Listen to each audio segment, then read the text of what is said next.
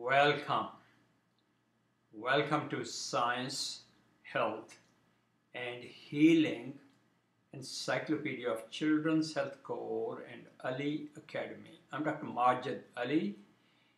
The subject of this video is peroxide soaks simplified. I'm going to read you two brief letters that two viewers of this encyclopedia sent me. First, this is they're responding to my earlier hydrogen peroxide foot soaks videos. Quote, this is the best thing ever. Simple, easy to do, and it feels good. End quote. Second, this is regular hydrogen peroxide that you buy in the store, right? Question mark. End quotation. Yes, it is. The 3% hydrogen peroxide foot soaks that you buy from drugstores, that's what I'm referring to for foot soaks or hydrogen peroxide packs on any part of the body.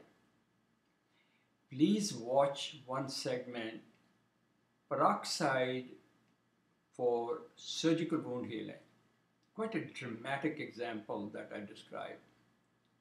Now, if you're going to take oral hydrogen peroxide, which I really don't recommend on a long-term use because I've seen more problems than good results, especially if you take 10, 15, 20, 30 drops that some people recommend, that's 12.5%, that's food grade hydrogen peroxide, that's far more expensive. So what I'm talking about for foot soaks is the ordinary 3% hydrogen peroxide solution in the United States. It usually runs about dollar and 25 cents or so.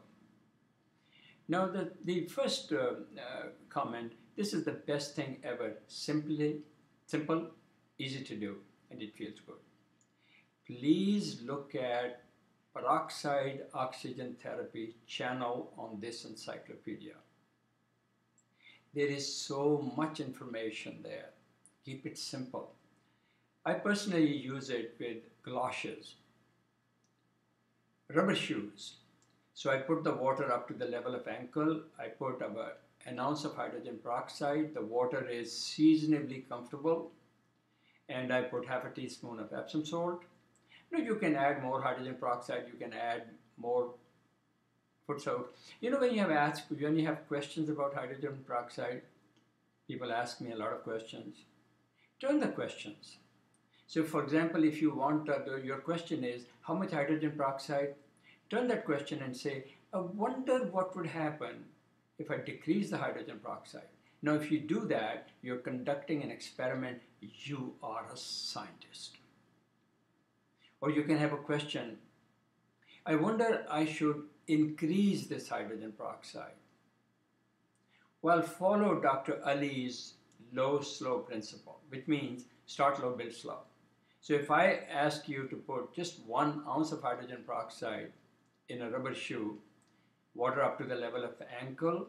When you put your feet into these rubber shoes, the water will rise, of course, two or three or four inches above the level of ankles.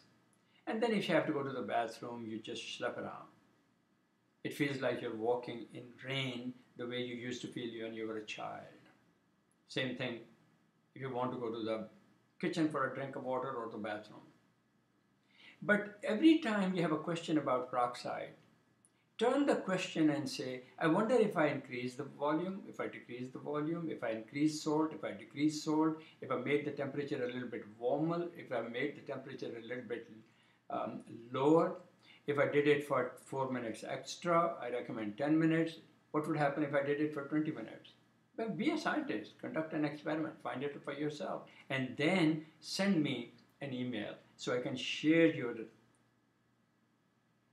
the results of your experiment, the pursuit of yourself as a scientist. Who is a scientist?